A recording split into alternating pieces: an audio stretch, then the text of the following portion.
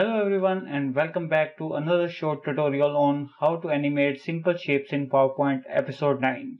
So in this tutorial we are going to animate these ovals and that is a very easy animation to accomplish.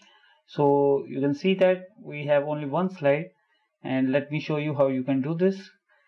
For that we will move to the new slide or you can also take a new presentation by clicking on the file menu then go to new and then choose blank presentation and then you can change the layout to blank to remove these default text boxes. And you can do that by clicking on the layout drop down button on from the home tab and then choose blank.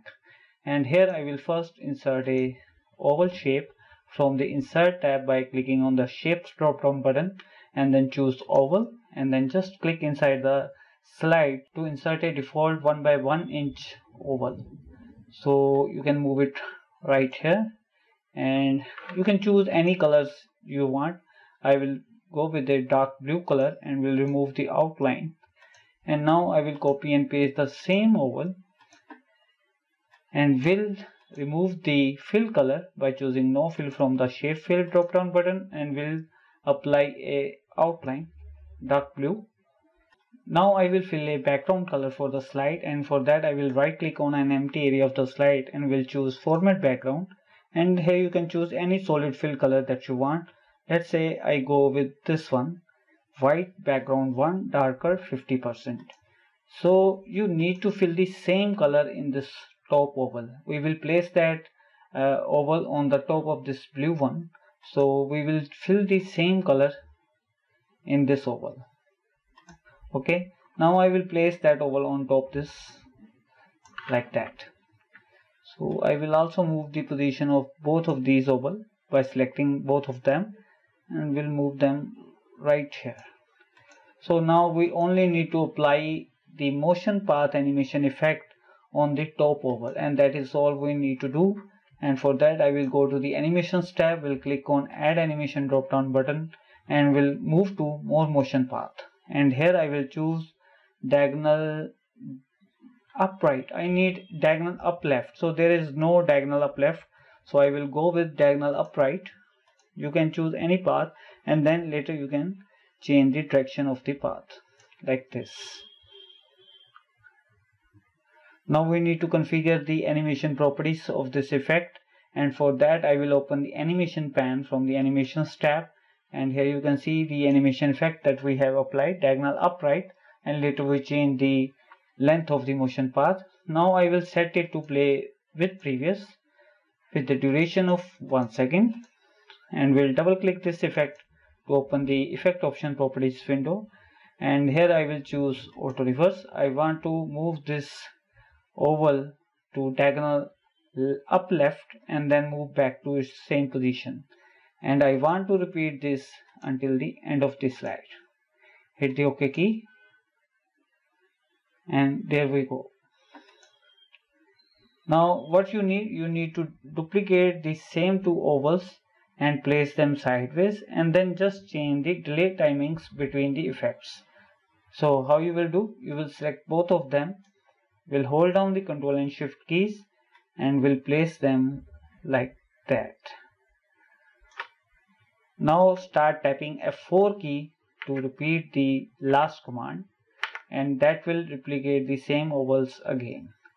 Now you can see that we have five actually we have 10 duplicates ovals and here we have five animation effects on the top ovals.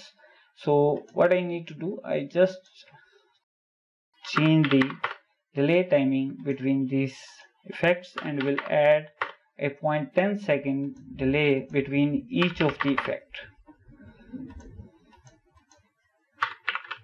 like that. Now again I will move them at bottom. Will copy and paste them at bottom by holding control and shift keys. And now I will tap F4 to repeat the same command. And now again I will add a delay. And you can add different kinds of delay timing for different lines of oval and that will make the animation effect a little bit different so let's say I am adding 0.15 seconds delay to the bottom ovals. Now again I will copy this one and we'll move right here. And now we'll start tapping F4 to repeat the same command. And let's say I add a delay of 0.20 seconds for this one and 0.30 uh, 0.40 for this one and 0.60 for this one now again we move here copy and paste them by holding ctrl shift keys and then just tap F4 to repeat last command and then add a delay timing as you want. So now I will go with 0.25 0.50 and 0.75 again select this one hold down ctrl shift drag and drop f4 f4 and now I will add 0.35 let's say it's totally up to you. 0.35 and then 0.70 and then point 1.05 let's say. Now again this one last one. Copy and paste f4 f4 and then add a delay timing and for that I will go with 0.50 1 and 1.5 and there we go. We have completed the animation. Let's see the slideshow. And that is how it will look.